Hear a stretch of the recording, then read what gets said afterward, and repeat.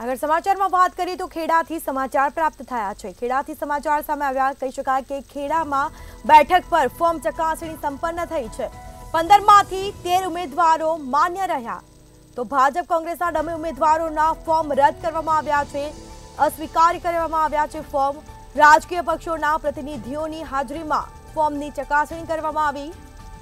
Observer, મુખ્ય ચૂંટણી અધિકારી, જિલ્લા કલેક્ટરની હાજરીમાં આ ફોર્મની ચકાસણી કરવામાં આવી હતી.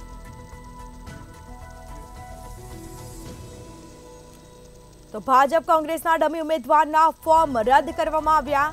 રાજકીય પક્ષોના પ્રતિનિધિઓની હાજરીમાં આ ફોર્મ ચકાસણી કરવામાં આવી. તો હવે કુલ પંદર ઉમેદવારોમાંથી તેર ઉમેદવાર મેદાનમાં. તો ખેડા બેઠક પર ફોર્મ ચકાસણી સંપન્ન થઈ. પંદરમાંથી તેર ઉમેદવારો હવે માન્ય રહ્યા.